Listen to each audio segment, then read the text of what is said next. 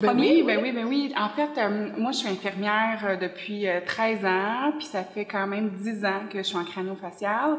Avant de travailler ici, j'avais plus ou moins conscience de c'était quoi avoir un enfant différent.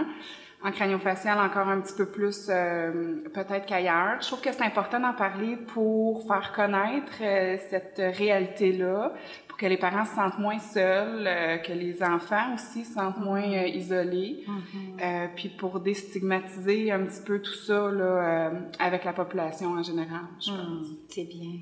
Et toi, Marie?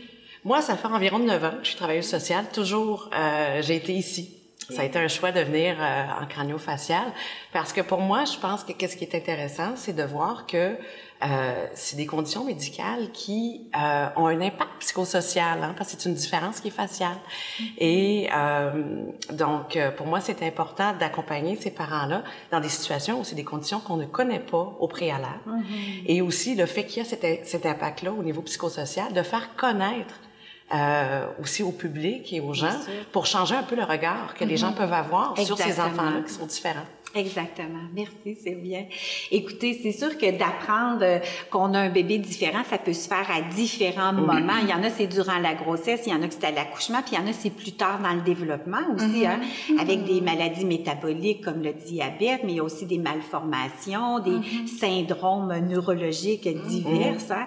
Alors, euh, par rapport à l'annonce, tu sais, euh, quand on, c'est sûr qu'il y a l'impact que ça donne, comme tu disais, le réseau de soutien, on va tout parler de ça, mais avec vos expériences respectives, votre expertise, c'est comment vous vous annoncez ça, tu des exemples concrets, ça se passe comment habituellement? Ben en fait, il y a, plusieurs moments euh, comme vous dites, où euh, l'annonce diagnostique peut se faire. Des fois, c'est en anténatal, donc souvent c'est à l'échographie de 20 semaines, la fameuse échographie euh, où on pense à prendre le sexe euh, du bébé exclusivement, où là, on se rend compte qu'il y a peut-être un petit quelque chose qui fonctionne pas au niveau du visage ou autre. Là, c'est plus au niveau du visage, mais mm-hmm.